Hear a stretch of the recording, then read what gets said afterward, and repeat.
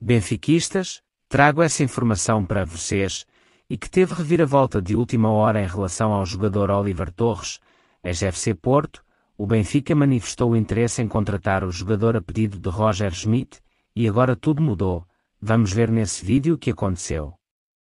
Mas peço a você benfiquista, se caso você ainda não é inscrito no canal, se inscreva agora e seja o primeiro benfiquista a receber as notícias do nosso Benfica, também deixa seu like e seu comentário no vídeo.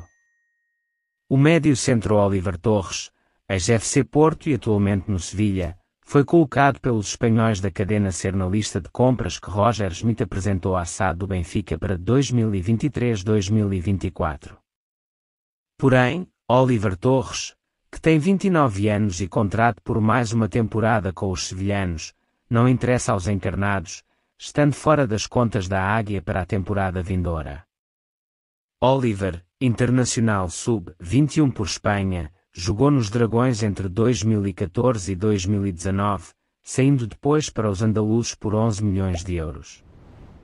Qual a sua opinião? Coloque nos comentários, pois é muito importante para o nosso Benfica.